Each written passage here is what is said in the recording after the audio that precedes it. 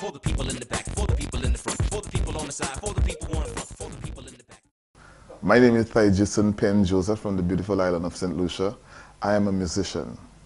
Specifically, I'm a drummer, producer, writer, and arranger, musical arranger as well. I also do other things like DJ sometimes, you know, and um, I do a lot of humanitarian work where I advise youth coming up in the industry and advise them what direction to take so that they could aim to that successful route.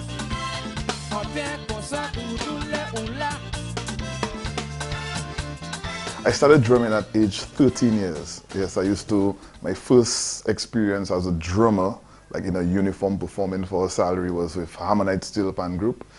And then from there, I, I started to work with KK Elwin and I left and went to the cruise ship for five years.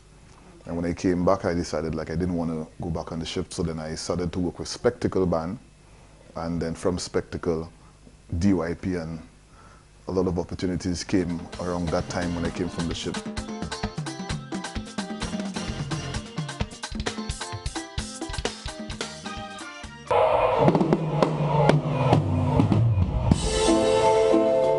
In that business, I think the obstacles would always be trying to get out there because it's not, it's not very easy when you're in an industry that it, it, it's, it's a little harder to reach out in comparison to Jamaicans or Trinis who have the mass support. My greatest achievement is Studio 758. And the reason why is because we were able to develop a lot of artists. We, we were able to shape artists and you know present them to the to the industry, especially regionally and internationally. And I think every time, you know, I mean, when you plant a seed and you see it grow to a tree and, you know, then they have the influences, then, you know, everybody start doing their own independent thing, you feel proud as a, as a parent of it.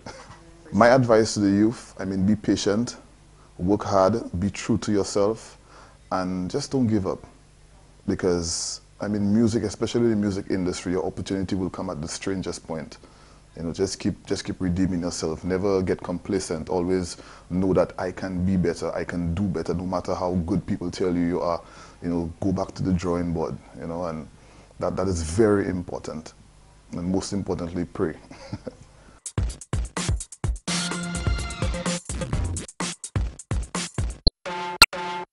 for the people in the back. For the people in the front. For the people homicide. For the people wanna fuck, for the